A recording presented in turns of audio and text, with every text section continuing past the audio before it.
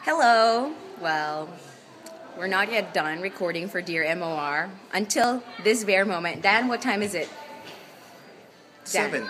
It's almost seven, seven. almost seven, and we're not yet done. Like, done? Dan? That's me. Oh my gosh, done and down, like rhyming words.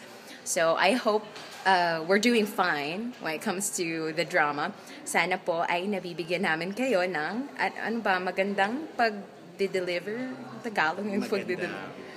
Pag, Maganda. basta yon sana maganda po yung pagtatagalog ko din.